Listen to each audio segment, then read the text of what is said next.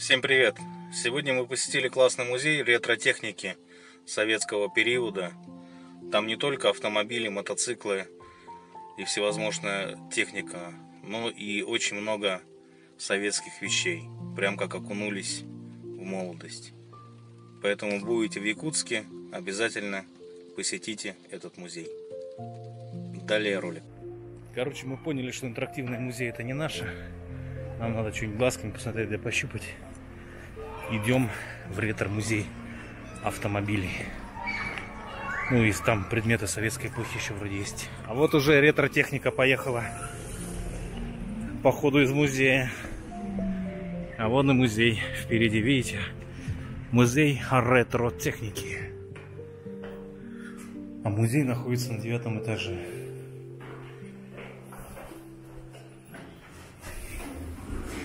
Общем, сегодня мы посмотрели, музей ретротехники не работает. Пятница, суббота, воскресенье с 11 часов.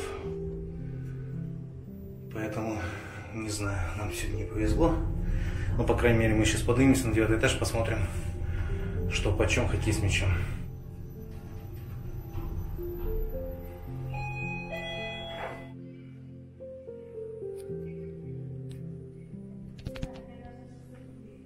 Попали мы в музей.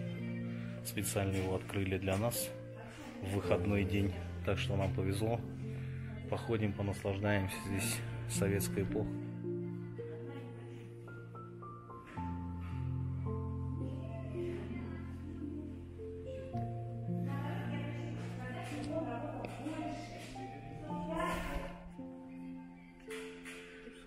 Нет. Чай индийский, второй сорт. Чай тот самый со слоном. Продукты и вещи.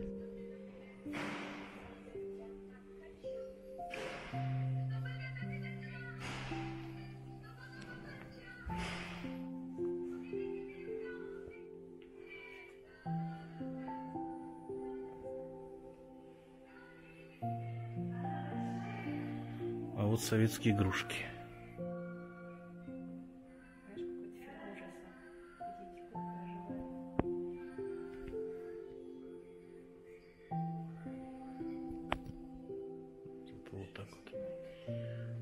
Фототехника. Вот эти полароиды всевозможные. Это вот видеокамеры. Вот что-то типа зенита такого у нас было тоже.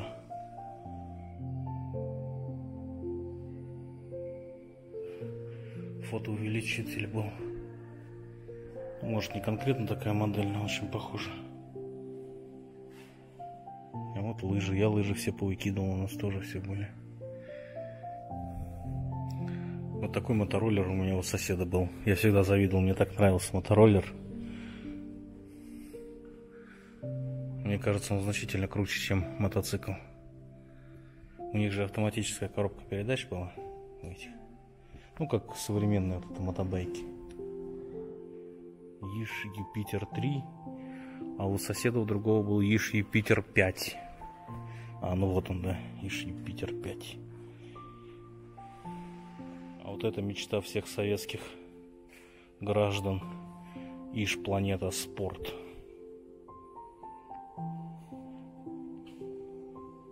Супер мотоцикл. Вот они, главные экспонаты. Вот мы сейчас на девятом этаже находимся. Мне интересно, как вот эта машина попала на девятый этаж.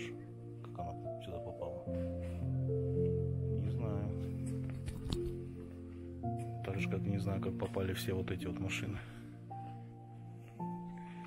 Вот такая копеечка была. Моя любимая. Здесь? Однокомнатная квартира советского гражданина. Гантельки, раскладушка, телевизор, радио, шкаф с пластинками и диван.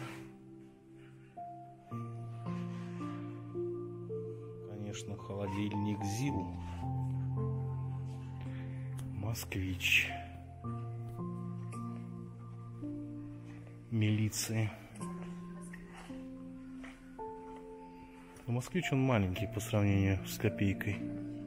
А тут еще детский москвич ГАИ. Слушай, мне вот этот э, милицейский напоминает из этого э, Шварценеггера. Какой там фильм был? Красная угроза или Красная жара, как он там назывался, не помню. А теперь горбатый. Я сказал горбатый.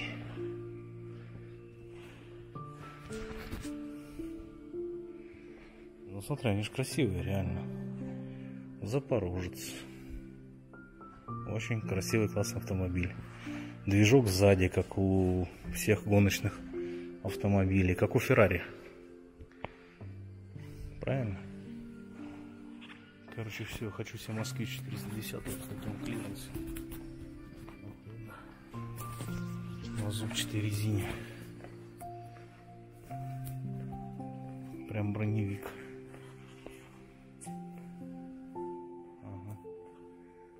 Я даже, кстати, не знаю, она как СМЗ. Я, кстати, на Авито их какое-то время назад смотрел. Вот эта мотоциклетка, в ней что-то 3 или там 8 лошадей. 8 лошадей. 4 ступени передач. И она, они очень дорого стоят. Но они, причем в ужасном состоянии. Но вот такие еще более-менее можно найти. А вот конкретно вот такую модель прям очень тяжело. И видишь, ручное управление полностью. Инвалидка. Волги самые ценились, когда у них был вот этот олень впереди на капоте. Потому что есть Волги без оленя, вот в частности вот это. Есть Волги с оленем.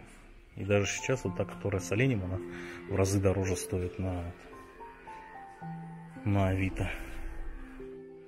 Еще и со звездой. Так здесь многие на учете он стоят с номерами.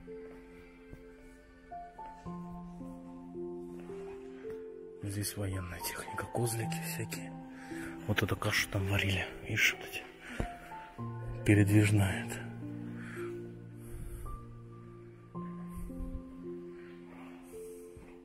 Вот это грузовик. Вот, кстати, вот эти газы сделали с фордов. Форд А он тоже назывался, по-моему, или что-то забыл как. Ну да. Ну а что изобретать велосипед?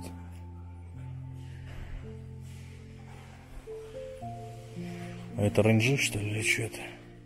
А, нет, 67Б. Газ тоже.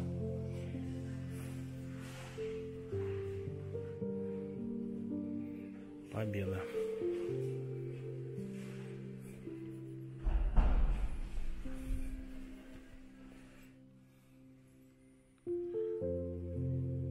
Ну, что-то вот либо типа такого магазина. Ой, магазин Комета.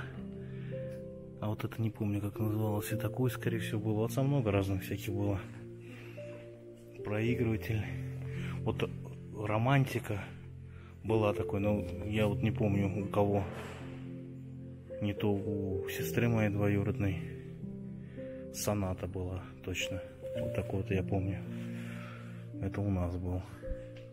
А вот на таких, короче, этих э, отец мой записывал кассеты из 90-х для копировал для звукозаписи.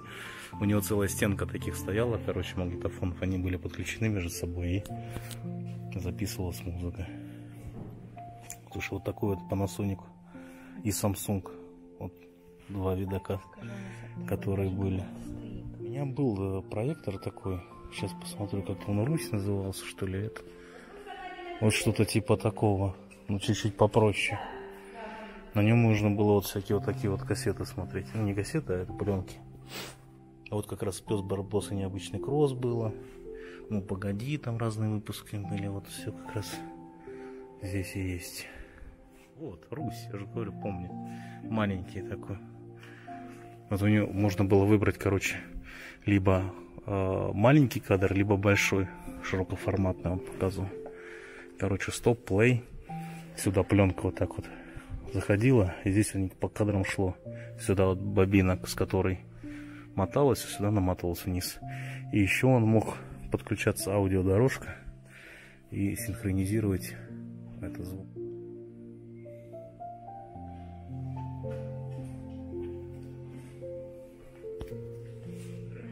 Если Ford A взял бы, кстати.